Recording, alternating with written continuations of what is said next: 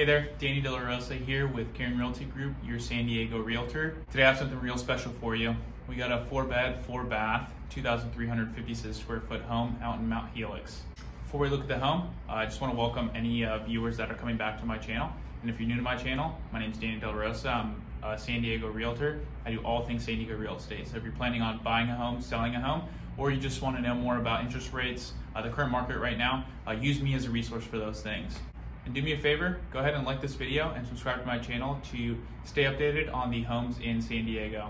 Without further ado, let's check out the home.